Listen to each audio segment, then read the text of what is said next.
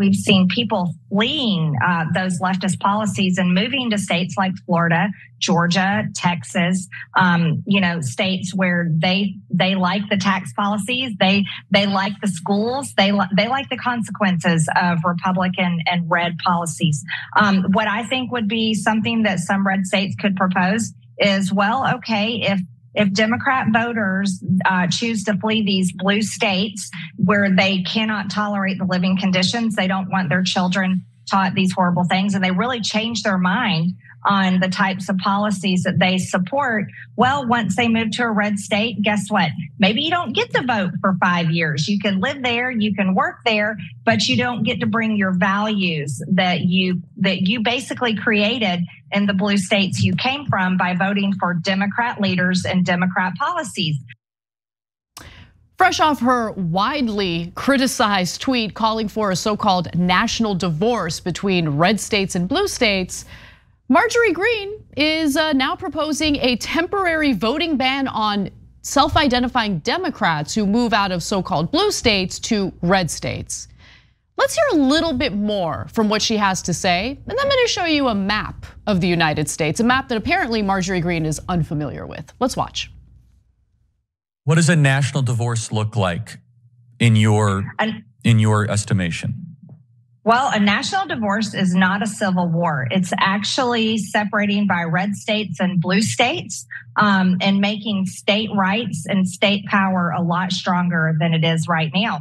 Um, it would be shrinking the federal government. For example, we can take education. Well, if we have a national divorce, there's no need for the Department of Education. Red states and blue states would be in control of the education in each state. Red states would very likely um, have traditional education, homeschooling, uh, charter schools, private schools, technical schools.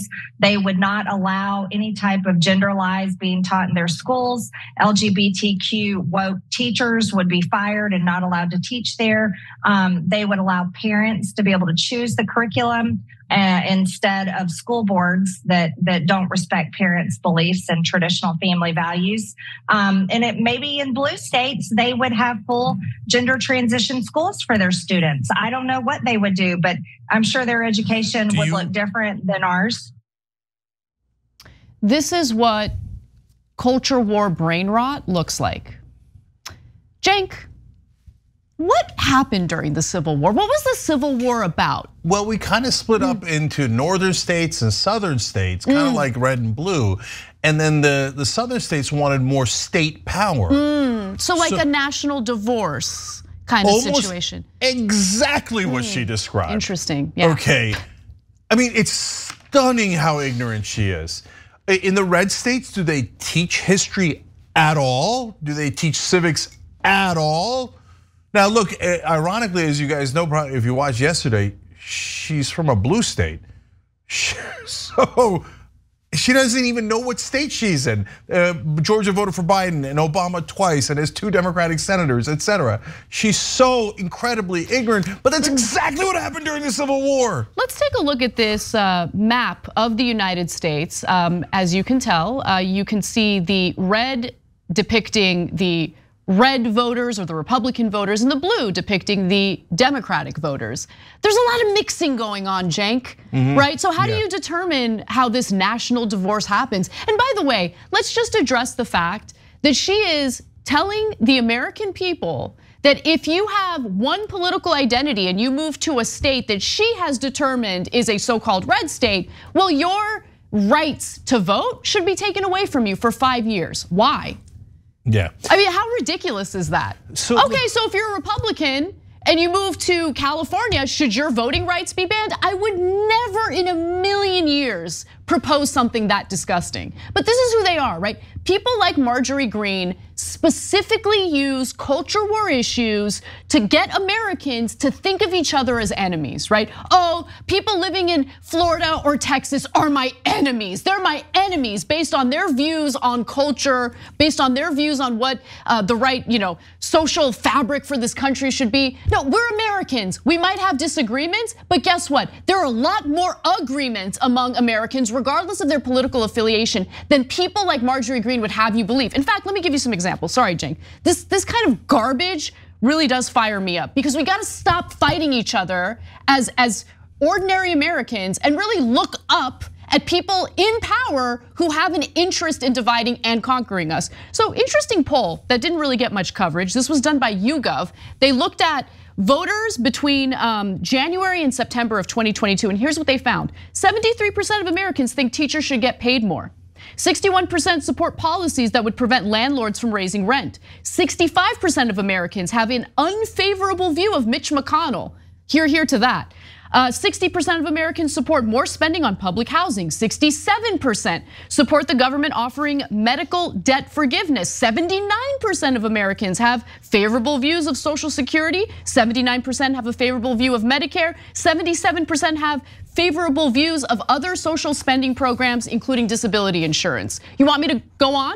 But they don't want us to focus on what we have in common, on how we want to do something about economic justice in this country or the economic injustice we've been living under. All we do all day long is talk about whatever manufactured culture war Republicans want to frame the argument with. And I'm sick of it. I'm so sick of it. Yeah, anyway. well, look, if the elites wanted to do a false flag operation, this is exactly what they would do. They would plant someone like Marjorie Taylor Greene. Now, did they? I don't think they're that smart. No, I think she's an actual person with those actual thoughts. She's but, a useful tool. Yeah, but the elites must be thinking, how did we get this lucky? Because Ana's all those numbers are right. The first chapter of my book, Justice is Coming, is poll after poll after poll showing we all agree. We all agree. Do you know that 59% of Americans say that corporations have too much money and power? I mean, no one on TV thinks that. No one in Washington thinks too much money and power. How much is even too much? I don't know. But 60% of six out of 10 Americans say no, corporations are so bad. I just don't even want them to have that much money. I mean, which is honestly a position I don't even agree with. It's to the left of me. Six out of 10 Americans are to the left of me, right? Let alone the two thirds and the three quarters that agree with us on every major issue, right?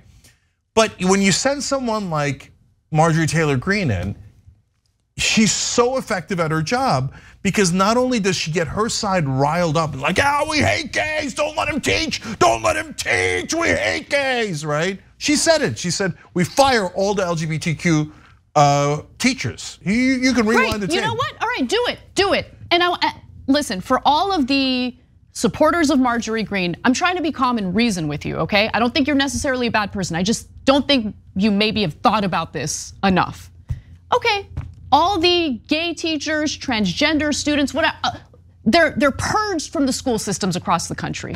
Okay, um, how are you going to pay your rent or your mortgage? What about your medical bills? What is Marjorie Greene and honestly the entirety of our legislature doing to improve your life right now? Nothing, nothing. So if that is what sustains you, if if hating on others, getting people fired, if that's what feeds you, keeps you nice and warm at night, puts shelter or a roof over your head, great. Except it doesn't. It doesn't. In the end, you're still struggling and you still have lawmakers not representing your best interest, but distracting you with whatever hate that they're instilling in your heart. It's disgusting. Don't fall for it. Yeah, well, look, I have trouble not falling for it because I'm not going to let them fire any uh, gay teachers. Of course yeah, not. I know, and so I'm going to fight her, right? So and and uh, and if you want to talk about education, well, who's the absolute worst? The least woke states, Alabama and Mississippi. They've been led by Republicans for decades on end, and they're miserable in education.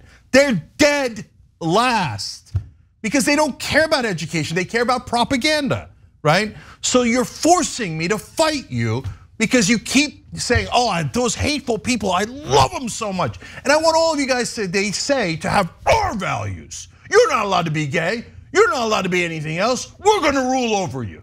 Well, what am I gonna do? Agree with you on that? No, of course I have to fight her on it. I'm not gonna let you, I don't want your life, Marjorie Taylor Greene. Your life looks miserable. I think your values are disgusting. Oh, I, am going to exclude them, and I'm going to exclude them, and I'm going to rule over them. and then they say these gaslighting garbage like liberals want to control your life. Are you crazy? I don't, I don't care. Want, I don't care about your stupid life, Marjorie Taylor Greene. Leave us alone. Go away. Go into a cave and don't learn anything. And, and don't have any gay people around you and don't have any black people around you. You just said yesterday, we showed you a clip about, oh, I mean, I know some white people that are so bad, they might be as bad as black people. Okay, go into a goddamn cave and do whatever the hell you want there, as long as you're not affecting us. So she forces us to fight back. And when we do, we're right back into the mess. And people don't it's know that over 80% of Americans believe in uh, paid family leave. And the corporations win and they drive you back into your jobs at low pay. She's never fought for you. If you're a right winger, find me a right winger that fought for you on economic issues, that put food on your table, that took care of your family. No, all they have is hate, hate, hate. Own the libs.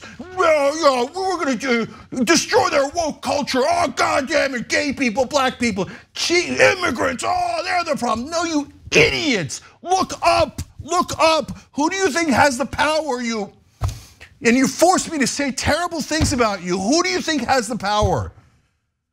It's the corporations. You. I'm trying to contain myself. Corporate power has taken over all of our government and it's slowly crushing us. We have no economic dignity left.